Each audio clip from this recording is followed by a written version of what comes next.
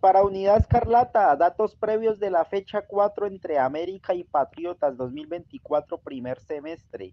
América ha enfrentado 11 veces por liga al cuadro de Patriotas con saldo de 5 triunfos, 5 empates y solo una derrota. En el Pascual por liga, los Diablos Rojos han recibido 6 veces a los boyacenses con 4 triunfos para América y 2 empates.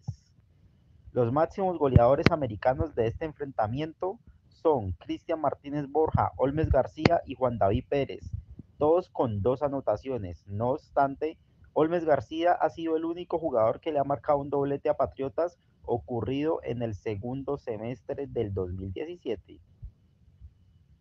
Estos fueron los datos previos para, la, para el partido de América Patriotas. Recuerden que se los dio el estadígrafo Sebastián Rivera Montes.